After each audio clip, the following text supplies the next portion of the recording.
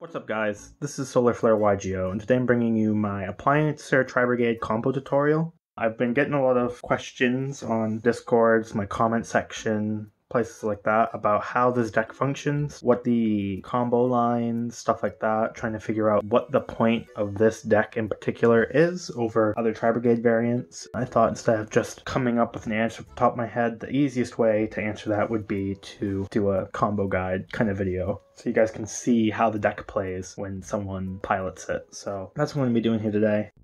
Let's just jump right into it. I'm not going to go crazy with the introduction the first combo we'll be doing is the Appliancer Socketroll plus the Electrolyrical World.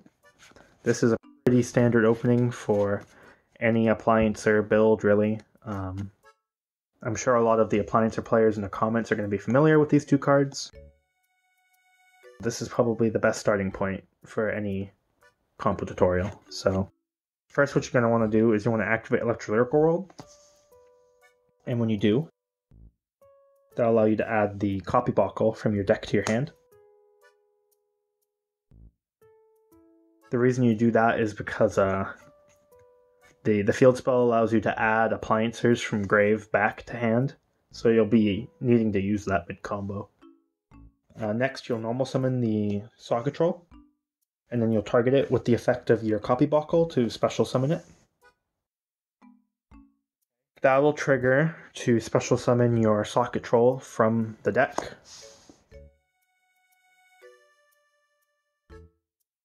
We'll overlay the Socketroll and the Copybokkle for the recital starling.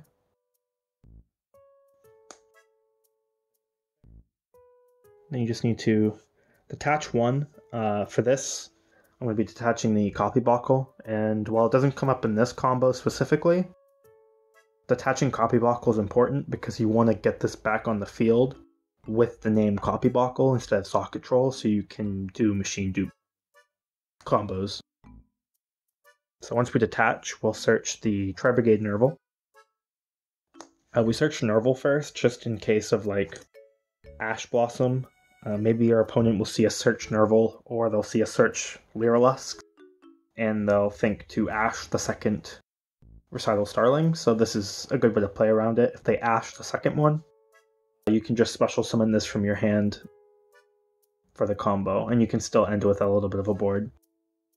So we'll search that, but then we'll link the Socketroll away for the Kappa scale.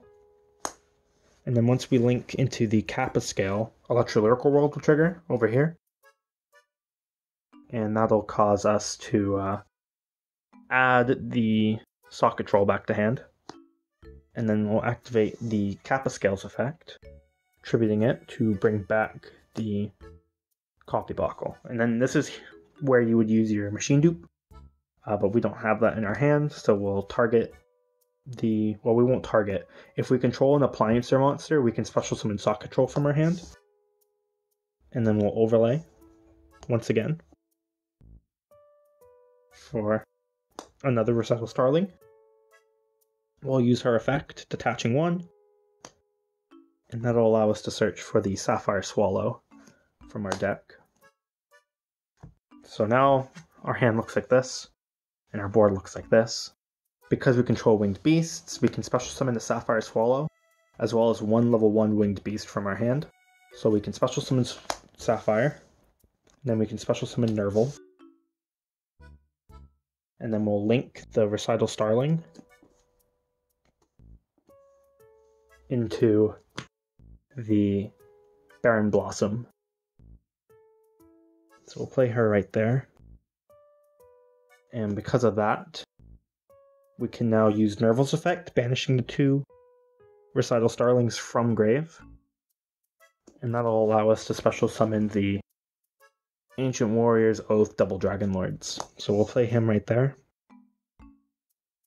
Next, what we'll do is we'll overlay the Nervall and the Recital, not the Recital, the uh, Sapphire Swallow for our third Recital Starling. If you don't want to use a Recital Starling, uh, I'm not running it in this build, but you could run um, the other rank 1 Lyrilusc, Assembled Nightingale. Uh, she's really good if you have double A Zeus. So if you can uh, run a couple copies of those, you could use her right here.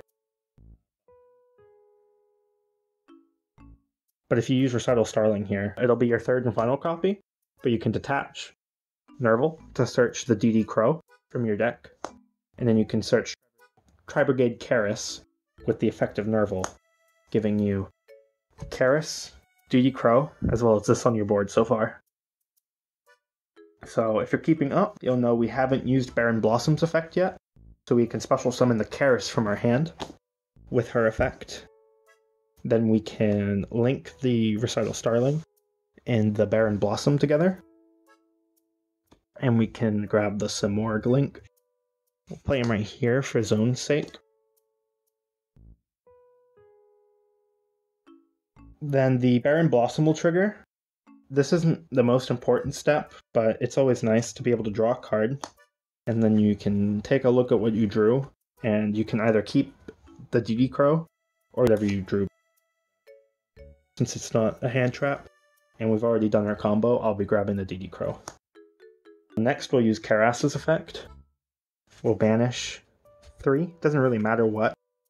In future builds, if there's ever a reason to run Revolt in this specific variant, you'll want to bear, uh, banish the two Tri-Brigades so that you can bring them back um, with Revolt to have the most um, value. But here it doesn't really matter, so I'll just banish three and then I'll special summon Rugal the Silver Sheller.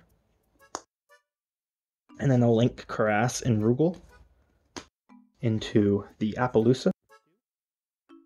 And then during the end phase, our Simorgh link will activate, and we can we can special summon the barrier statue from our deck. Off of two cards, this is our end board. We have special summon lock with the barrier statue, Two negates with Apollousa, targeting protection on the Simorgh and the barrier statue. And then double Dragon Lords, if you guys don't know, it um doesn't seem to want to focus. Um, you can send a card from hand or field to grave to bounce an opponent's card back to hand. Uh, in this case, you can send the Appliancer Electrolyrical World, or during your turn, you can send the barrier statue uh, to the grave to remove the wind lock, allowing you to play through your own barrier statue. And um, that's the main end board you're going for. I think it's really good. This is really powerful end board in my opinion. If we have machine dupe in our hand with our standard opening, we can activate Electrolyrical World, search the well, first of all, if they ash the Electrolyrical World here, we just normal summon Socketroll, We activate Machine Dupe. We special out the other two Socket Trolls. Then we overlay into the Recital Starling. Detach. We'll do our search. We'll just grab Cobalt Sparrow. We'll search the Cobalt Sparrow, it doesn't really matter. And then we can link into the Kappa Scale. Use the field spell to add back the Socketroll. Special the Socketroll, and then tribute the Kappa Scale to special the other Socketroll. So this is full combo. But if they don't ash the Electrolyrical World, you can try and bait the ash while you play the combo out, and I'll try and show you guys that. Say they don't ash your Electrolyrical World, they let it go through. You'd grab the Copybokkle, normal summon Socketroll, special summon Copybokkle, Socket Troll will trigger, you'll special summon the Socketroll. If they ash the Socketroll, again, the machine dupe will help you play through that most likely game two or three if they know how your deck functions. Where they'll start to ash is with the the Starling. So you'll detach the Copybokkle. Oh, whoops! I didn't overlay Copybokkle.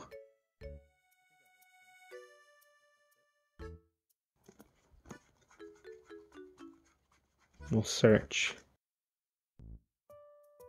the Nervall. We'll link into Kappa Scale.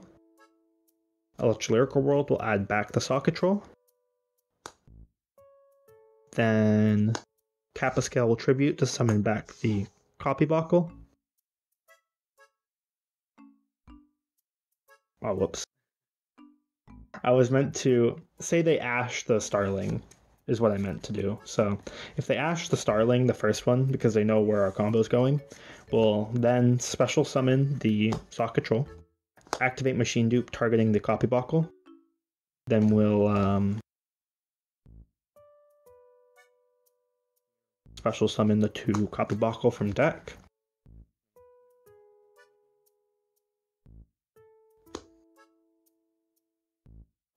We'll overlay again. Sorry, I keep bumping the camera. Hopefully you guys don't see that in post. Overlay, detach, then we'll search the Nervall. We'll overlay a third time. Put it up here.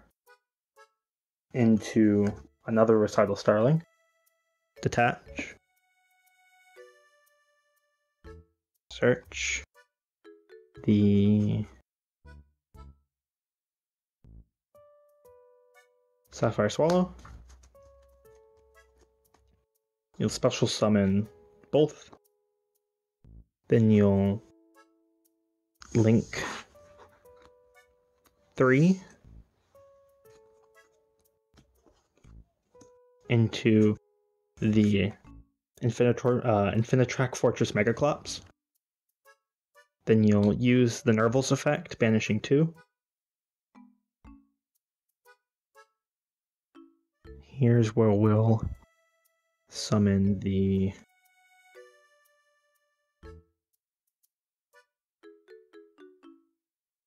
Ancient Warrior. Then we'll link these two into Barren Blossom. Nervall's effect will trigger, and we'll special summon, or we'll search the Kerass. Barren Blossom will special summon the Kerass. And then we will um, use Kerass's effect, banishing three again to summon the Simorgh right here. And um, this looks a little worse you have a, a Megaclops, which is huge. Hard to deal with monster. The Double Dragon Lords, you still have the Barrier Statue, and um, you could make Rugal here if you wanted to. I'm not a huge fan of Rugal, but he does help you recycle.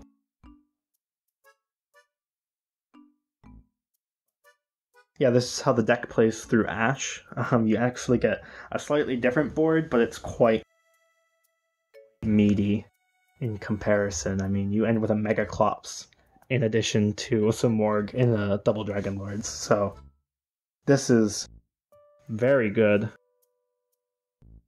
This deck can play through hand traps pretty decently, so I hope I uh, showed that off properly to you guys. I'm sorry, I, I don't do these kind of videos very often uh, I mean, at all. This is the first time I've ever done one, so you'll have to cut me some slack. Hopefully, that cleared up some confusion and you guys understand how the deck functions a little better. I hope you guys enjoyed. Like, comment, subscribe, share with your friends, all that YouTuber nonsense, and I'll see you guys in the next one.